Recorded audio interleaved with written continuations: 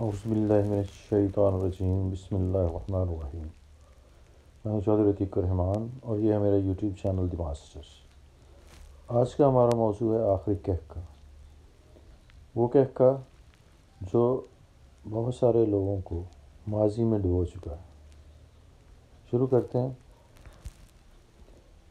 ابلیس نے آدم اور حوا کے ممنوع پھل کھانے پر قائل کر کے جنت سے نکلوا دیا۔ تو کہکا لگایا، لیکن آدم اور حوا نے معافی کی درخواست ہونے اور روح زمین پر خلیفہ مقرر ہونے کے بعد شکر ادا کیا کہکا نہیں لگایا۔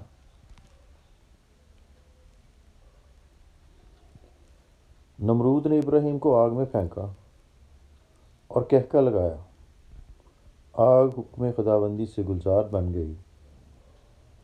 ابراہیم اٹھے خدا کا شکر ادا کیا، کہکا نہیں لگایا۔ یوسف علیہ السلام کو بھائیوں نے کنویں میں پھینکا۔ غلام کے طور پر بیچ دیا۔ اپنے تعین سے جان چھڑائی، کہکا لگایا۔ یوسف مصر کے بادشاہ بن گئے اور خدا کا شکر ادا کیا، کہکا نہیں لگایا۔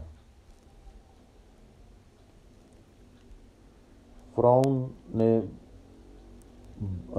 بنی یعقوب کے لڑکے مار دیے۔ انہیں غلام بنا لیا۔ فرار ہوتے قافلوں کے سامنے آبی رکاوٹ دیکھ کر کہکا لگایا موسا دریا کے پار اترے۔ فرعون کو ڈوبتے دیکھا، خدا کا شکر ادا کیا، کہکا نہیں لگایا۔ سرور دو عالم صلی اللہ علیہ وسلم مکہ میں مکہ سے اس حال سے نکلے، تن کے کپڑوں کے سوا کچھ پاس نہیں تھا۔